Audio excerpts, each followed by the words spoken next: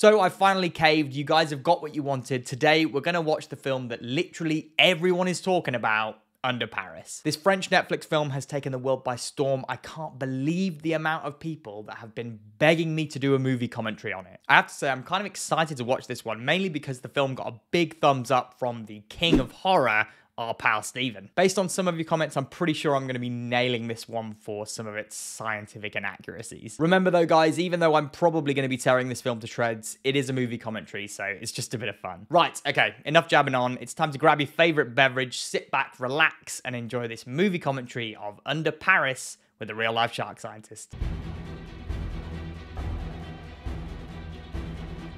Interesting start here then. We've got a supposed quote from Darwin, but they suffix it by saying it's based on Darwin. You can't have something in quotes if the person didn't actually say those words. Fun fact to start you off, turns out Darwin never said this. It was actually made up slash paraphrased by a business professor from Louisiana in 1963. Good start under Paris. So we start here somewhere in the North Pacific Ocean at the infamous Great Pacific Garbage Patch, described by many online to be the eighth continent. Thankfully though, with those coordinates they've handily provided for us, we can input exactly where they are, which turns out to be a couple of hundred miles off the coast of San Diego. Now, let me ask the San Diego viewers at home, are you guys seeing mountains and mountains of plastic bottles and bags like we're seeing here washing up on your beaches? Probably not, right? And that's because the Great Pacific Garbage Patch is probably one of the biggest misconceptions out there. It is isn't an island-sized floating patch of garbage like you can see here. Instead, about 94% of it is made up from microplastics, which are tiny, tiny pieces of plastic that are broken down from the larger bits. The rest of it is mainly abandoned fishing gear and not plastic bags or plastic bottles. You're gonna have to trust me on this one, guys. My entire master's thesis was about how plastics impact sharks across the world. So while it is still bad, it's not this level of bad. Who started letting me ramble on about plastics? Anyway, the team sends some divers underneath the garbage and they've discovered what looks to be an entangled and, of course, dead whale with a whacking great bite mark out of it. Not really the best thing to be hanging around while you're underwater, but if you fancy having a pretty bad run in with a shark, this is high on the list of situations where that might happen. This shark comes in for a quick pass and everyone cacks their pants, me included, but it turns out that these are apparently Mako sharks.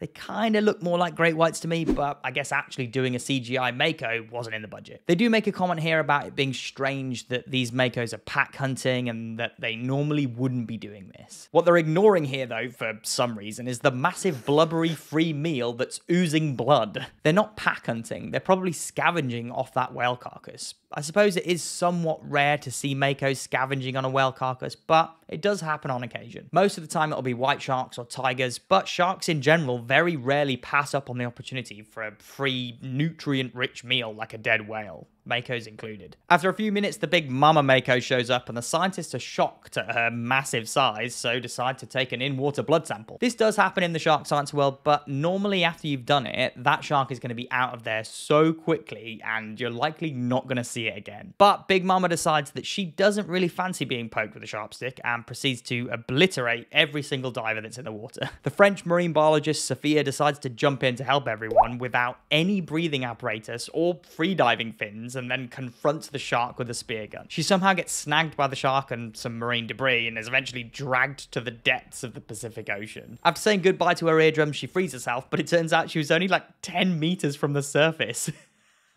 what? One pathetic sob story later. Anyway, fast forward three years into the future, Sophia's eardrums have miraculously repaired themselves, and she now gives presentations about the ocean in public aquariums. The internet says your whole team was eaten by sharks. Is that true? And gets bullied by school kids. What a fall from grace. We do get some nice shots of aquarium sharks in the background there, and if you wanted to learn a little bit more about which sharks do well in aquariums, then make sure you give that video in the top right a click. At the end of her talk, Sophia is persuaded to join a blue-haired teenage girl who reveals a secret hideout of eco-vigilantes hell-bent on saving the sharks and the ocean. Despite having no qualifications or experience in working with large apex marine predators, the eco-warriors have hacked into a tracking system and are saving sharks from fishing trawlers, I think. They haven't really explained it, but that kind of looks like what they're doing. I like here though how they've just flat out copied the layout of the OCEARCH shark tracker to the most minute detail. They've even got the same little shark icons and yellow track lines. The vigilantes have also managed to track Big Mama Mako, aka Lilith, who appears to have completed the longest triple oceanic migration ever. Hold on, let me get this right.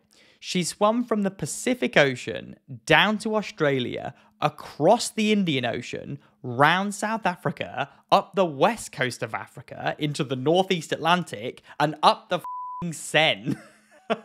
and the explanation we get for this world record breaking mega migration is With the effects of climate change and pollution, the sharks have completely changed their behavior. climate change and pollution. That's it. That's all we get. The shark's just like, oh shit, a plastic bottle. My behavior's all confused. I guess I'll just swim 20,000 miles and end up in the River Seine. So, pollution causing range shifts like this is nonsense, but there is a little bit of truth to the climate change stuff kind of. Climate change is going to cause range shifts for different shark species who are going to start to move to waters where previously they couldn't survive, but it's not going to happen like we're seeing here. Growing increasingly concerned, Sophia reports to the river police that there's a massive shark in the Seine that's about to mince up a lot of people. And the chief of river police is like, well, there's sharks in the Thames. How bad could it be? She's absolutely correct, to be fair here. There are sharks in the Thames somehow. But those shark species in the Thames are tope and smoothhounds, two species that are completely harmless to humans. What they're not is an unusually massive mako shark that has traveled tens of thousands of miles to get there. Anyway, the chief of river police wants some more cold, hard evidence before she sounds the alarm bells, as if the sunken car with giant tooth marks and mangled up friendly homeless guy wasn't enough already. But the highly irritating eco warriors, terrified that the river police are now going to kill the shark, decide that they're going to turn off the shark's tracking device.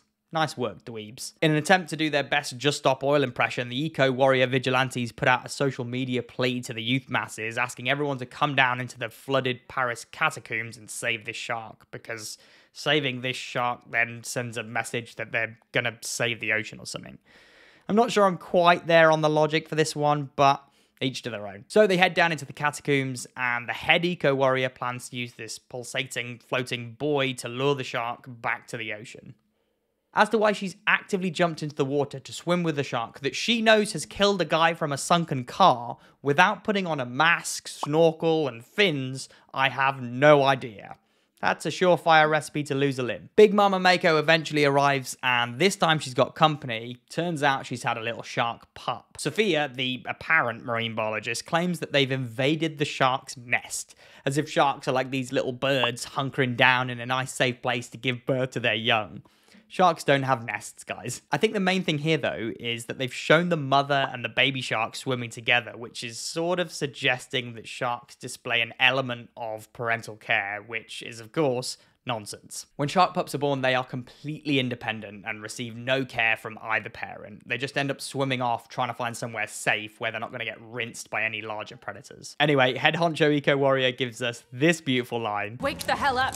They won't hurt anyone. Before she is duly ripped to shreds by the shark. I honestly don't think I've wanted a film character to get eaten so badly than this girl right here. Fair play to the actor and the writers for making her that annoying. Pure carnage, of course, ensues as the eco vigilantes all get what they deserve, slipping into the water left, right, and center. People are coming out with no legs. This is the chaos that I have waited nearly an hour for, and I am all for it. I think the broad lesson we've probably learned from all of this is something along the lines of stop touching sharks, kids. So, after heading to the mayor to report this mass death event and to try and get the triathlon stopped, the mayor does her best Larry Vaughn impression from Jaws and decides that the triathlon is definitely still going to go ahead. Mr. Prefect, hush this up immediately. Nothing can get out. Hang on a minute. Hush this up. You're telling me that somehow this dude has got to cover up the fact that 12 people have literally just been ripped to shreds by sharks and another 40 or so people have just witnessed it, not including the doctors and the nurses that are treating them in the hospital, and you're just there like, nah, didn't happen. Don't know what you're talking about. this is ridiculous. So they ended up managing to retrieve one of the young sharks from the catacombs, and Sophia, the marine biologist, is performing a necropsy to try and understand a little bit more about what's going on with these sharks. You see that? These organs allow the shark to adapt to the salinity of the water. Right, stop. If you guys thought the science up to this point was bad, This right here is the icing on the cake. She's saying here that the nasal flaps allow the shark to adapt to the salinity of the water, and the a bit on the side has shown that she adapted to fresh water. And they've just completely made that up. The nasal flaps on sharks have nothing to do with salinity, nor are they an adaptation to allow sharks to live in fresh water. They're actually used for smelling, or more scientifically, chemoreception, which is the ability for a shark to detect chemicals or molecules within that water. The real organs that are responsible for adapting some sharks to fresh water are the liver and the kidneys. The kidney produces urine, which can remove salts or excess water, and then the liver produces urea as and when it's required, depending on the salinity of the environment. I feel like the directors here have just been like, yeah, we need to point to something on the body of this shark that explains why it's now swimming in fresh water. I don't know, let's just point to these flappy looking bits on the front of the face. So the necropsy also revealed that the shark was apparently a new species and it was reproducing via parthenogenesis, although they didn't really choose to elaborate on that at all. So, in order to stop this army of rapidly growing virgin birthing killer sharks, they talk through their brilliant plan that's definitely not going to work, which of course involves plenty of explosives, cool speedboats, and this funky set of DJ decks referred to as an infrasound emitter. Infrasound is sound produced outside of the range of human hearing. It's a pretty low frequency, probably below about 1 hertz. Sharks, on the other hand, are most sensitive to sounds below 100 hertz. Some studies have pointed towards 20 hertz being particularly attractive to sharks. So why they're using a device that goes so much lower than that, I'm not sure. They might as well have just played some heavy death metal music through an underwater speaker. They really don't need those fancy DJ decks. And yes, heavy death metal music has been shown to attract sharks. It sort of mimics the low frequency pulses that a dying fish might make. And if you really enjoyed that fact, make sure you hit that like button. Meanwhile, the mayor gleefully starts the triathlon knowing full well all of these people are about to die. At the same time, the River Police team and their infrasound emitter plan starts to go horribly wrong as all the newly born baby sharks don't really seem to like the sound. I told you, you should have played heavy death metal music. Come back, Enema! Is this guy's name Enema? Hang on, hang on, we gotta rewind that. Come back, Enema! it does sound like they're saying enema. Oh man. That is a really unfortunate name to have. Thankfully, before he was devoured by the hungry baby sharks, Enema managed to set off the bomb to entomb the sharks forever. Up top, after the explosion, the other river police decide to do a speedboat spin for no particular reason and just end up in exactly the same place as they were before. Not entirely convinced that her own plan has actually worked, Sophia heads back down to check whether the sharks really have been entombed in the catacombs, and of course they haven't, as Big Mama Lilith bursts through the rocks now she's mad. She does a kick-ass flip of the river police boats, sending them flying into the water, and decides that she's now going to eat these two river police officers. That's what you get for doing a pointless boat spin. I hope you're happy. With a shot here very reminiscent of the Jaws shark and its big yellow barrels, Big Mama Lilith heads towards the unsuspecting swimmers to begin enacting her revenge on the citizens of Paris for blowing up all her kids. If we pause it just here though, we can see just how big this shark has now got. It's getting towards megalodon size. What a unit. Compared to like 30 seconds before where she still looks to be about 18 feet long, she's got to be like 25 foot long now. That is a fast growing shark. Eventually the military decide that they're now going to get involved and unleash a flurry of bullets towards Lilith. This sniper here has some pretty impressive underwater vision to pop a bullet in her from here and it all just suddenly gets very chaotic. Little do they know, the bottom of the Seine is actually littered with active World War II shells. You'd think during the entire process of cleaning up the Seine so that it was safe to swim in that someone might have thought, maybe we should take out these bombs, right? Nah, it'll be fine.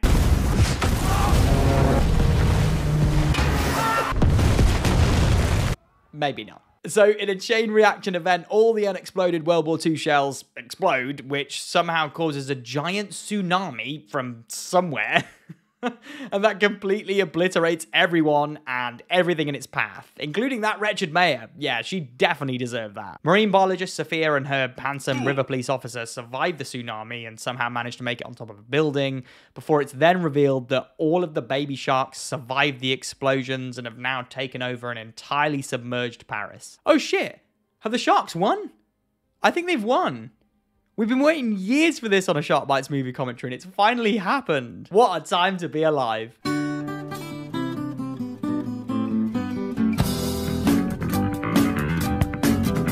And there we go, guys. That was Under Paris. Wow.